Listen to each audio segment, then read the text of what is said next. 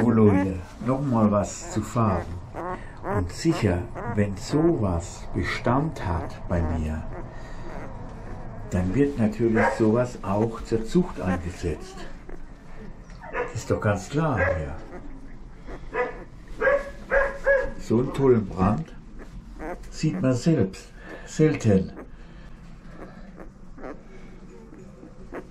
Und so ruhig auch.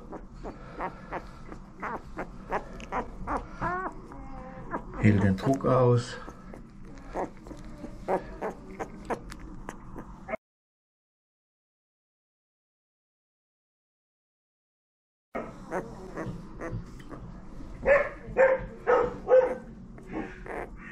Also wie schon gesagt hier, wenn sowas natürlich Bestand hat, wird sowas natürlich zur Zucht auch eingesetzt.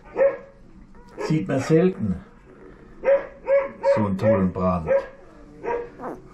Komplett hier schwarze Haut und helles Fell. Jetzt muss man natürlich gucken, was passiert. Also Möglichkeiten gibt es immer.